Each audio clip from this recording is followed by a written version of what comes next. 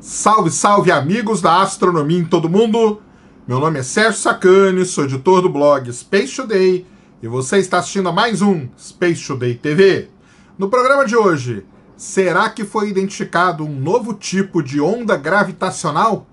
Isso aí foi soltado por alguns pesquisadores como rumores pelo Twitter. Alguns ficaram bravos, mas talvez possa ser que tenha um fundo de verdade. Vamos entender essa história. Manda a vinheta!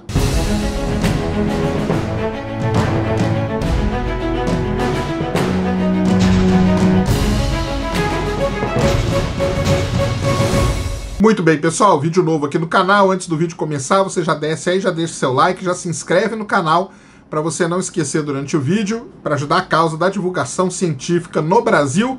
E eu vou falar hoje para vocês sobre ondas gravitacionais. Todo mundo ainda lembra das ondas gravitacionais?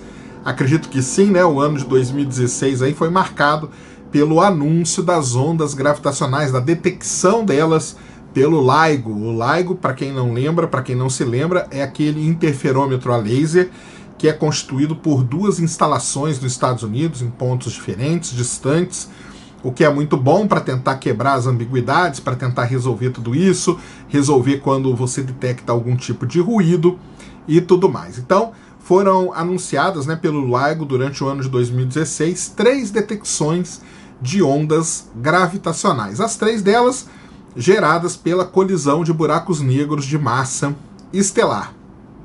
Aqui a gente tem que fazer um parêntese alguma, algumas coisas, né? O LIGO ele é, ele é um observatório de onda, um interferômetro, né?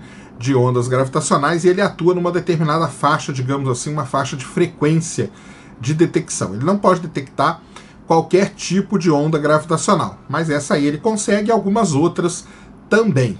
As ondas gravitacionais elas são geradas quando eventos extremos acontecem no universo, eventos esses capazes de deformar o que a gente chama de tecido do espaço-tempo. Todas as três detectadas foram por conta de colisão de buracos negros de massa estelar, mas essa não é a única maneira. Colisão de estrelas de nêutrons, de nêutrons podem, podem gerar ondas gravitacionais, colisão de buracos negros supermassivos também, e óbvio, o evento mais extremo que a gente conhece até agora, que é a criação do universo, que é o Big Bang, que deve ter gerado uma baita de uma onda gravitacional. Só que para você observar essas outras, você precisa de outros instrumentos atuando nas determinadas faixas de frequência. Eu já fiz vídeo aqui explicando para vocês que agora, desde a detecção das ondas gravitacionais, além do espectro é, é, eletromagnético que a gente chama, né, óptico, infravermelho, ultravioleta, esse é o espectro eletromagnético. Tem agora o espectro gravitacional, que ele toma conta das ondas gravitacionais. Então aquelas geradas por buracos negros supermassivos são numa determinada frequência, pelo Big Bang é em outra, por aí vai. E os instrumentos precisam ser construídos para isso. Por enquanto a gente só tem o LIGO que serve para isso. Outra coisa que, que o LIGO sofre também é que são só dois. E isso não é bom porque eu já também já fiz vídeo aqui no canal falando que a gente precisaria de três para ter uma triangulação e assim a gente saber exatamente aonde no céu aconteceu a, a fusão dos buracos negros, no caso, para a geração das ondas gravitacionais.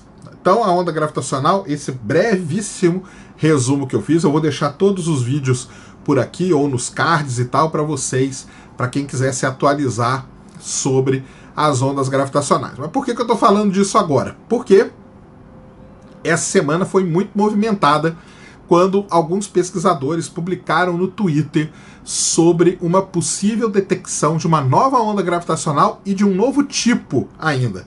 E nós vamos entender isso agora. Tudo começou então no dia 18 de agosto, quando o astrônomo Craig Wheeler, da Universidade de Texas, que fica em Austin, publicou no Twitter que havia sido detectado uma nova, um novo tipo de onda gravitacional. Foi esse cara aí que começou tudo, Craig Wheeler. Estou lendo o nome dele aqui porque eu não, não vou, não, tenho, não decorei. Uma hora depois que o Craig Wheeler postou isso no Twitter, um outro pesquisador da Universidade de Washington em Seattle, o Peter Yachtin, também mandou um Twitter falando que a detecção que essa detecção que o Craig falou era uma detecção causada pela fusão de estrelas de nêutrons na galáxia NGC 4993, localizada na constelação de Hidra a 130 milhões de anos-luz de distância da Terra. O que seria fascinante, porque os pesquisadores eles buscam outros tipos de ondas gravitacionais. Até agora, como eu falei para vocês, só foram de fusão de buraco negro. Mas esses dois pesquisadores publicaram isso no Twitter. Pronto, estava feita a bagunça. Virou um frisson aí nas redes sociais.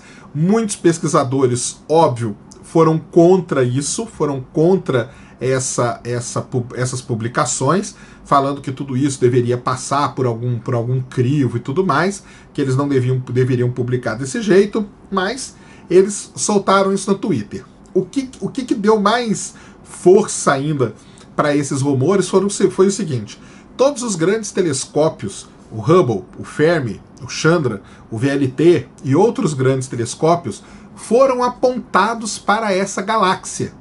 E isso a gente sabe porque esses observatórios, eles têm o Twitter deles, eles têm as redes sociais deles, eles têm os sites, e nos sites eles falam que objeto que eles estão observando em determinado momento. Todos eles publicam isso. O próprio Hubble tem um, um perfil no Twitter que é o Hubble Online, para você saber que objeto que ele está observando a qualquer momento. E todos eles foram apontados para essa galáxia.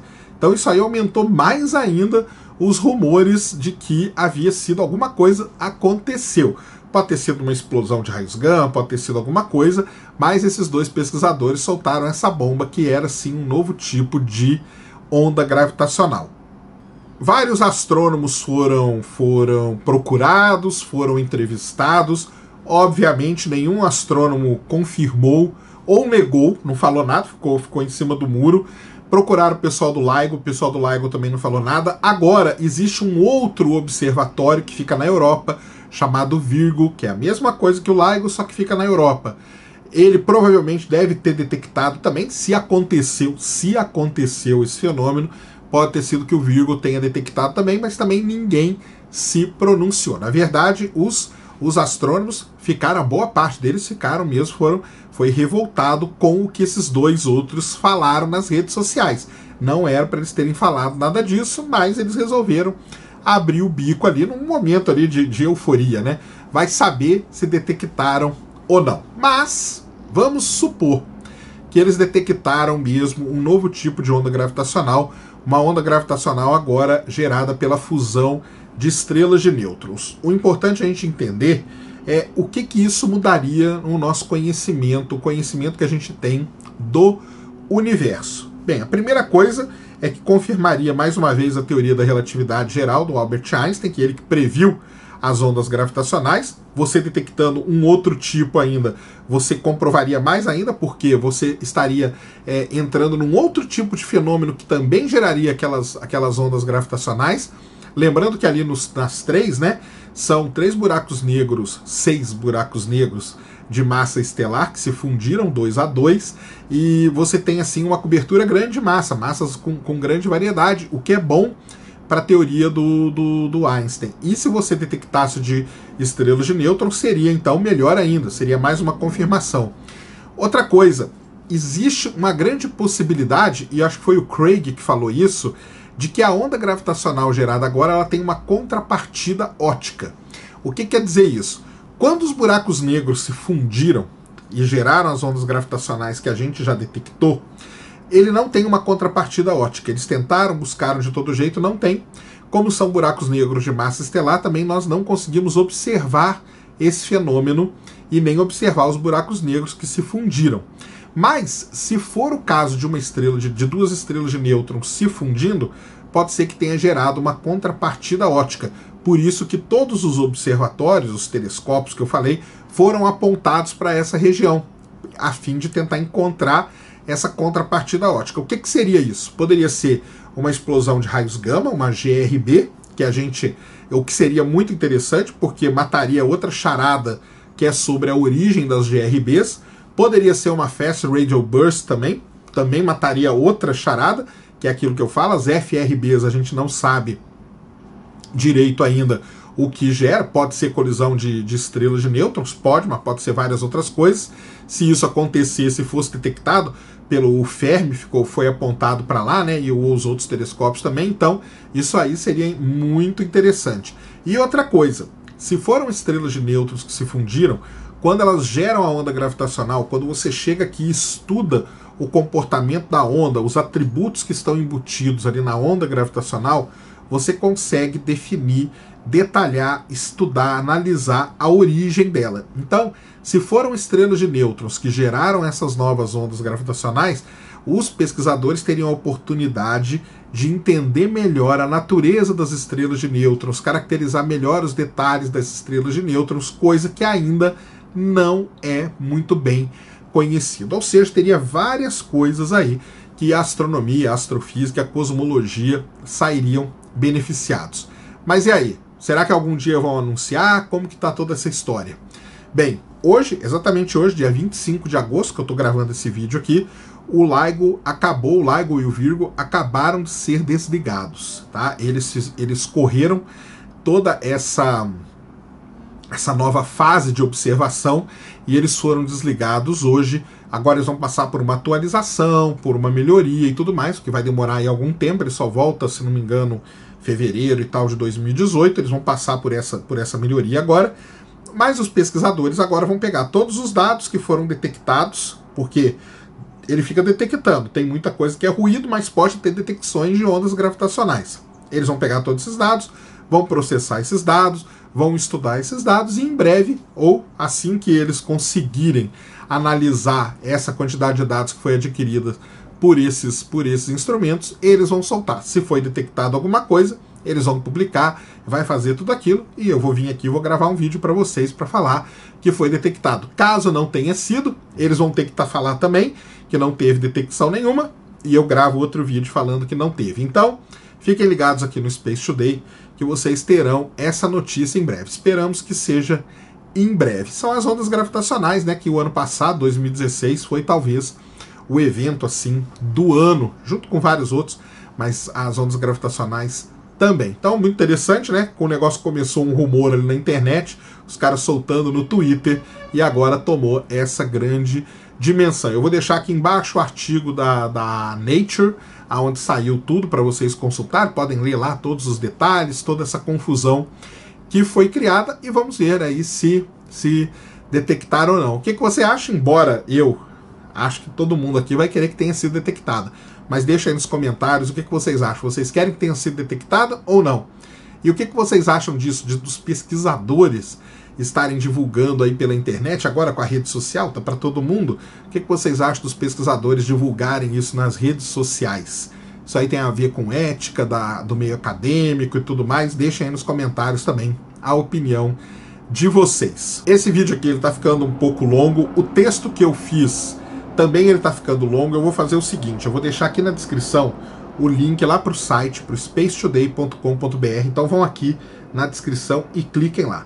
Lá vocês vão ler o texto inteiro com todas as referências, com todas as citações, tudo direitinho. Então aqui na descrição não vai ter o texto, vai ter só uma chamada para você ir lá para o site para você acessar lá. E acesse sempre o site que é bem legal, eu estou atualizando o site também. Então vão lá no Space Today que vocês vão ler tudo, tá? Eu vou deixar tudo lá. Aqui embaixo vou deixar o link só para vocês irem para o site lá buscarem tudo, tudo isso que eu falei aqui sobre as ondas gravitacionais. O vídeo está ficando meio longo e o, e, o, e o texto também ficou. O texto que eu uso aqui, ó, para quem não sabe, eu uso o texto aqui, ó, como roteiro para me ajudar, né, para eu não me perder. Então eu vou deixar o texto lá também. Vão lá, que lá vai ter tudo direitinho para vocês. Combinado? E continue acessando o site também, que é interessante. E deixem aí, aproveitem e deixem aí nos comentários. Eu estou pensando em deixar a descrição aqui embaixo no vídeo, bem, bem facinha, bem, bem pequenininha. E vou mandar sempre vocês para o site. O que, que vocês acham? Deixem aí e vão para lá. Lá tem outras imagens, outras notícias, outras coisas. Também deixem aí, eu quero saber a opinião de vocês. Muito bem, então, pessoal, esse era o vídeo que eu queria trazer aqui no canal agora para vocês, falando aí de uma possível, provável, quem sabe, não sei, detecção de um novo tipo de onda gravitacional. Se você gostou do vídeo, já sabe, tapa no dedão, voadora com tudo no peito do like. Isso ajuda pra caramba o vídeo o canal a ganhar relevância. Nunca se esqueça, compartilhe o vídeo nas redes sociais, favorite o vídeo, se inscreva no canal se você ainda não é inscrito. Deixe aí nos comentários o que você quiser saber. deviante.com.br, patreon.com.br spacetoday, apoia.se spacetoday, Science Vlogs Brasil e o link para a loja do Space Today, todos aqui na descrição. Tamo junto dioturnamente na luta contra a má divulgação científica no Brasil e contra a anemia na divulgação da astronomia no nosso país. Mais uma vez, meu nome é Sérgio Sacani, sou editor do blog Space Today e você acabou de assistir a mais um Space Today TV. Fui!